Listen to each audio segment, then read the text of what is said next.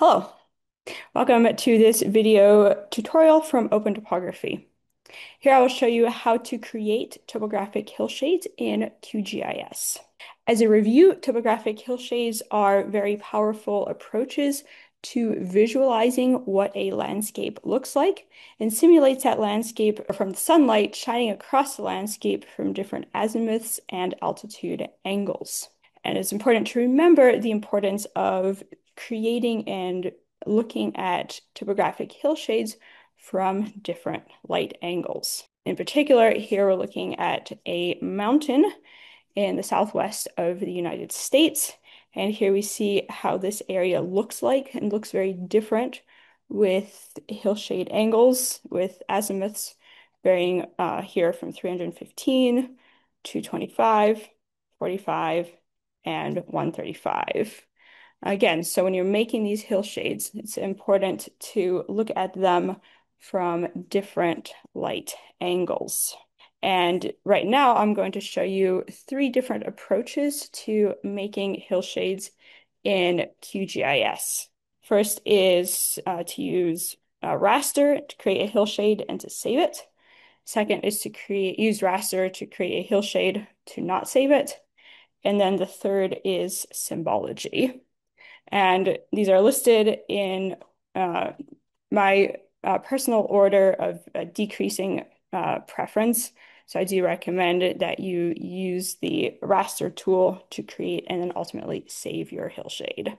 So here we are in QGIS. And I've already loaded this DEM by just taking the file and dropping it in QGIS. And so here we see the digital elevation model with altitudes showing in black from 600 to 750 in white. And again, we do get a pretty good sense of what the landscape looks like, but we really cannot see really the detail that we should for many applications.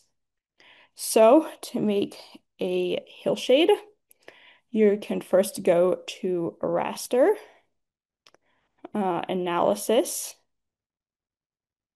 hillshade. And then we have some options here. We have our input layer, which is the DEM, and do check that the DEM is what is is what you're selecting. Um, you don't want to create a hillshade of a hillshade. And here we can see that we are in the coordinate system of EPSG 32612. Uh, for this approach to work, you do need to have your horizontal and vertical um, coordinates in the same units. I'll have another video looking at when that's not the case. So when they're both in units, we can leave the z factor as it is. And then we have the options of the azimuth of the light, the default here is 315 degrees, and that's fine to start, but I do recommend different angles for really visualizing the landscape. Uh, we have 45. We can keep scrolling down. And then here we have hillshade, so save to temporary file. So that is the default option. But that means that if we were to open QGIS again, our file would not be saved. So we can click these three dots and then say save to file. So then we'll save to the desktop. Um, and we'll call it DEM Hillshade 315 degrees. And I do often like to give the name with the, especially the azimuth of the light that I'm using to calculate the hillshade. So you can say save and then run. This is in real time.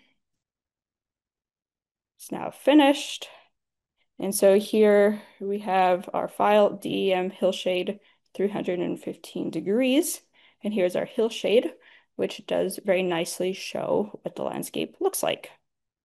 All right, so now I'm going to show you approach two, where we still go up here to raster, analysis, hillshade. Here we have input layer. And now because I have the DEM hillshade selected, that is now the default.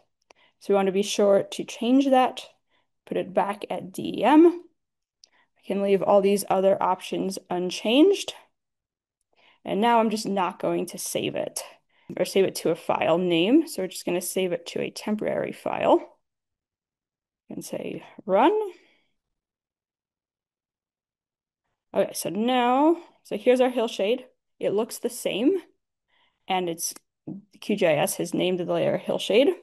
And in many ways, this this actually is a good approach if you want to just very quickly see what a hillshade looks like and you don't anticipate needing to visualize that hillshade again.